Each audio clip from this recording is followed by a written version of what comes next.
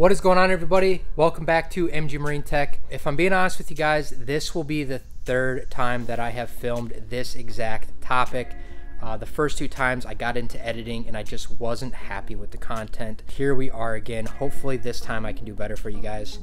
What we're going to be talking about today are third party waypoints. Now, I classify third party waypoints as waypoints that you create outside of your Garmin unit and outside of ActiveCaptain. What I'm going to be showing you guys today is a couple of really cool things you can do with Google Earth. I'll show you guys how you can create waypoints in Google Earth, how you can import waypoints into Google Earth, export waypoints out of Google Earth, and then ultimately at the end of the day, how to get those waypoints that you created in Google Earth onto either your ActiveCaptain app so you can sync to your Garmin unit or to your Garmin unit directly via a SD card. Lots to cover in today's video.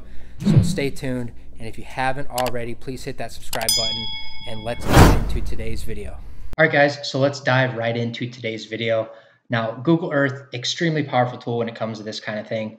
Um, I use this a lot when planning ahead for a fishing trip, especially on bodies of water that don't have any mapping or it's outdated mapping or inaccurate mapping, etc. Whatever it may be, uh, this is my go-to tool to kind of look at a body of water um, now I use this in conjunction with other tools, you know, such as Navionics app, um, ActiveCaptain app, where I can actually look at the actual charts. But when a lake doesn't have any charts on it, this is my go-to tool.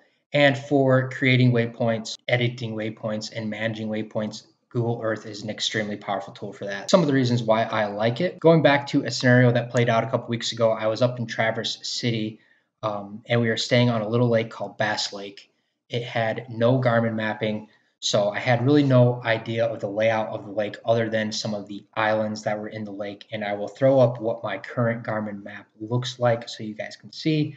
No charts on this, no contour depths, etc., other than some of the island. What we'll do is jump over here to Google Earth. And as you can see, I'm using kind of like the satellite overview. So it's the real picture, if you will. Um, it will zoom into this lake and uh, won't take long. So here we are, it's Bass Lake right here. And again, um, you can see that there's some of the islands that were called out in the Garmin maps, but none of the contours, etc. Now, the nice thing about this Google Earth imaging is you can really start to see the lake come alive with sandbars, points, etc. So that is one of the beautiful things about that. Now, getting to the point of creating waypoints, uh, very, very simple and very, very straightforward. You simply come down here to this add place marker. When you click this add place marker, um, your, your pointer will come up to a crosshairs. And if you single click, that will create a new waypoint or place marker in that exact spot. And so you can really zoom in and get, get pretty detailed on this. Now, if you click and hold, your uh, pointer will turn into a hand and you can still drag the map around. So that's a handy little feature. You can still zoom in and out. So I'm going to create a place marker or waypoint right here on this little sand flat. And then it will prompt you to create a project or save it to a project. Think of these projects as folders. So you can start to use these folders to really manage your waypoints very, very well, such as lake by lake basis um, or however you guys want to do it. So I'm going to do, uh, click on the drop down and create a new project. This is Bass Lake, so I'm just going to label this as Bass Lake. And again, this is a, uh, you can think of it as a folder that all of these waypoints will get saved under. Once you create the project you want to save it to, you can do things such as add pictures if you have them, um, change the name of the waypoint. So this one, I'm just going to name it as sand uh, flat. Um, you can add a little descriptions, change what the waypoint looks like. Uh, now I don't know exactly how those will transfer over onto the Garmin unit, so I just keep it with the stock one. Um, and then you can even um, manually change latitude, longitude, etc. And this is another good way if you have uh, latitude, longitude of different waypoints, you can click anywhere on the map, go in here, edit them, and it will pop up in the new location. And that was how you would manually enter a waypoint. But um, so say we like this waypoint where it is at, simply click click the back button, you can see that our sand flat waypoint populates under our Bass Lake project. And you can continue to do this. So finding another place, like here's a sandbar. You know, I'd, I'd like to hit this sandbar. So I'm going to click right there, and I'll enable that one, sandbar. Clicking the back, or you can even click the enter button. Um, and then uh, I like this little shallow flat over here. It looks like it has some weeds on it. Once we zoom in, there's a little bit of texture in there. I'll click on there, and that will be shallow flat. So we have three different waypoints created on this single bass lake. Here comes another cool feature, extremely cool, especially when you guys have, you know, DNR offices or conservation offices that have a really good fishing program where they go out and they drop fishing attractors or fish attractors in bodies of water and then they waypoint them and then they will oftentimes provide these um, files of all these waypoints for people to come fish. So that's exactly what we have here. This is a Fish Attractor GPX Files website that is brought to you by the Missouri Department of Conservation. And they have all of these different lakes where they have dropped these fish attractors in lakes and then waypointed them and they present them as a GPX file. Now, going into GPX files, when you are trying to bring in waypoints or third party waypoints into a Garmin unit, you have to have them in a GPX format. Uh, when you are trying to bring in waypoints into Google Earth, you have to has, have them as a KML format.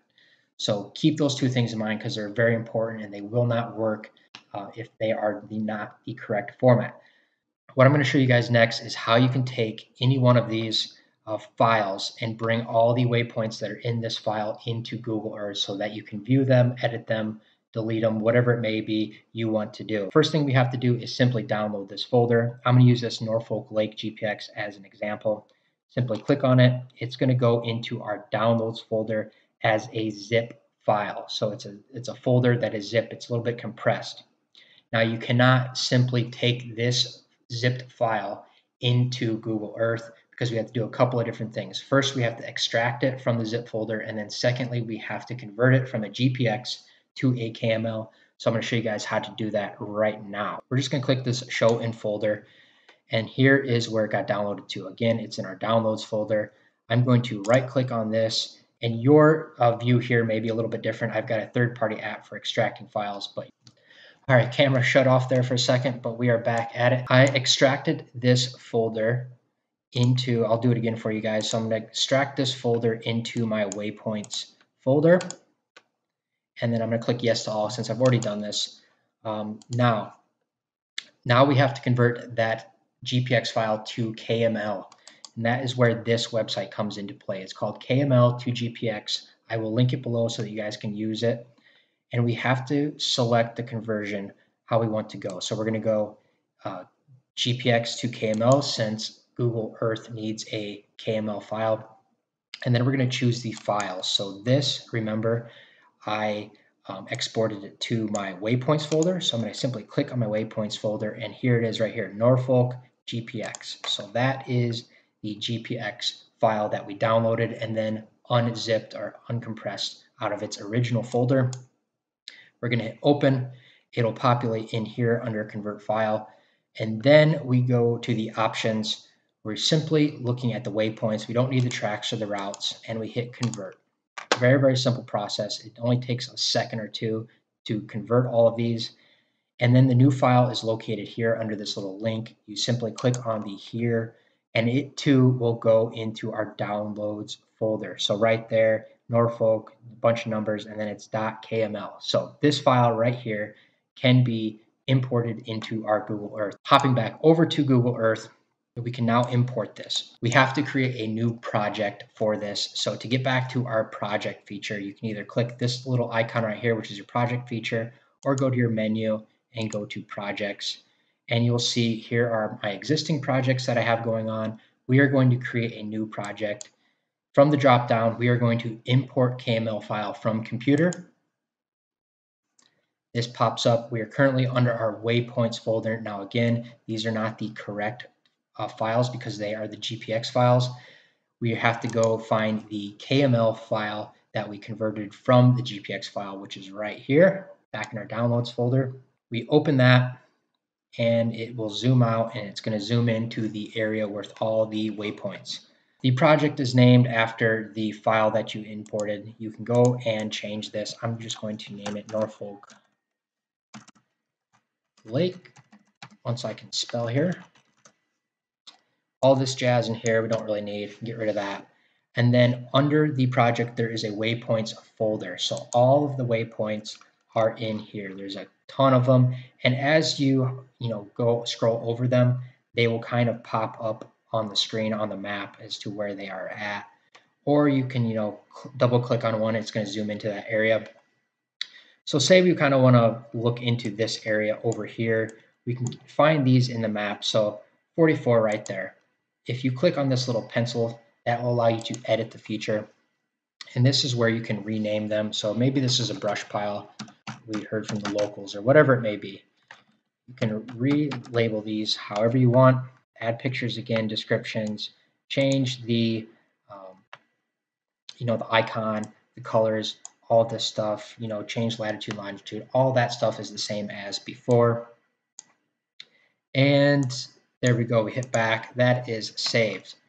So same process, you can go through all this stuff. You can even um, go in and delete these if you wanted to. Say this number four, we didn't need it.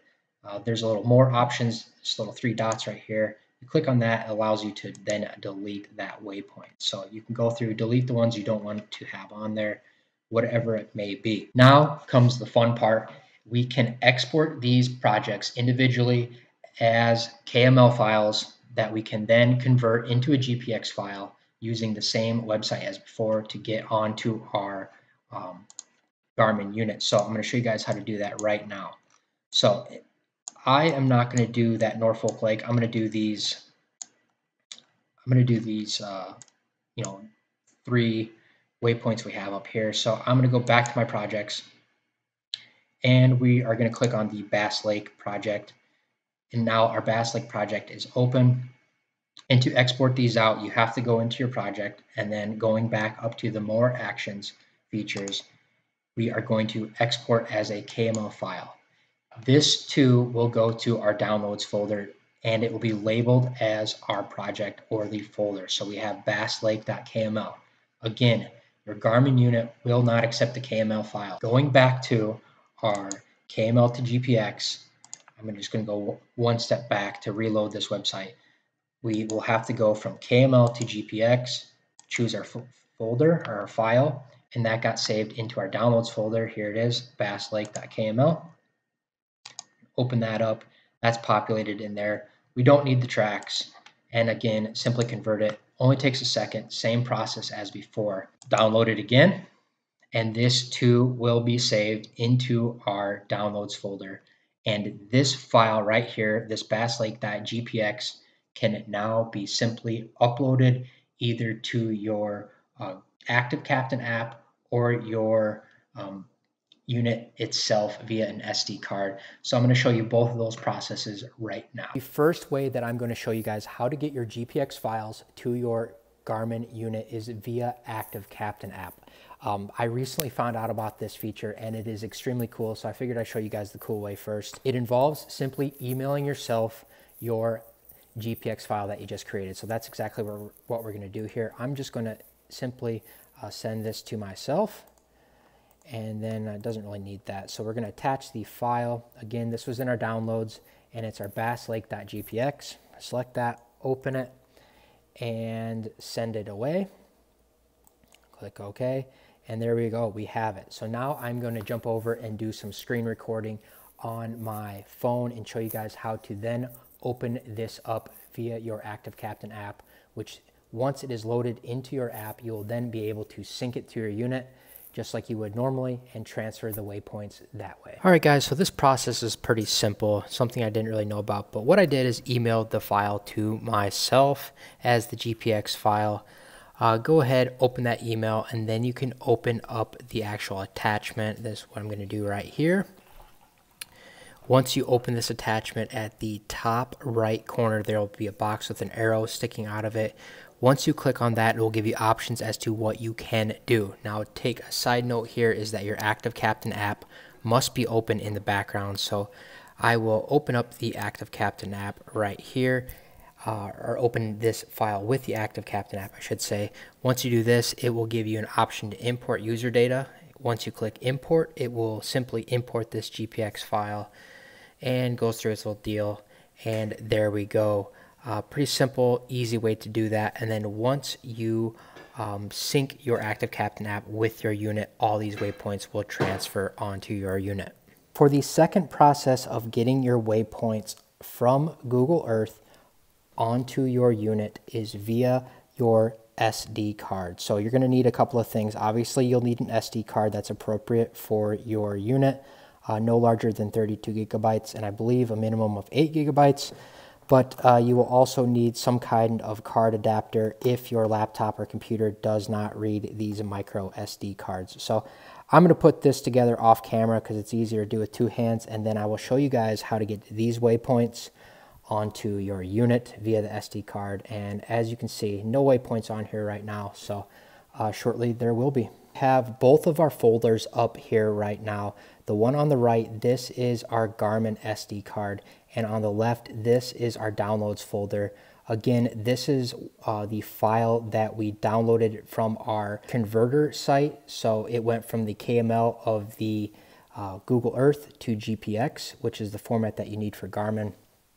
To transfer this over, we can simply click on the appropriate file, drag and drop, but it has to go to the base or the root uh, root of the SD card. It can't go into your Garmin folder, etc. It's got to go into the very uh, first part of the SD card. So strictly on to the root of the folder. So we can exit this out and I'm going to try to do this with one hand. It's a little bit difficult. So I can remove my adapter um, and fumble around, remove my SD card, go over to my unit, which doesn't have those on there, insert the SD card, and it will pop up. And then the next step we are going to do is manage user data. Now, from there, we need to make sure that the file type is GPX. It can also be on ADM, but we want GPX since that's the file we are going from. And then there are two important um, options that you can choose from. There's re replace from card and merge from card. This is very, very important. If you select replace from card, it will take all of the waypoints off your unit and replace it with the waypoints that are in this file that you choose from the next step. If you merge from your card, it will keep your existing waypoints and then add the waypoints that are on the card. So obviously we want to hit merge from card and then you can select individual files or all the files that are on this card. We're just simply going to select a individual file and there we go. This is the basslake.gpx file that we uh, created in Google Earth, then converted to GPX. So we'll click on that. It's going to go through its process and there we go. If we go back to our map, there they go.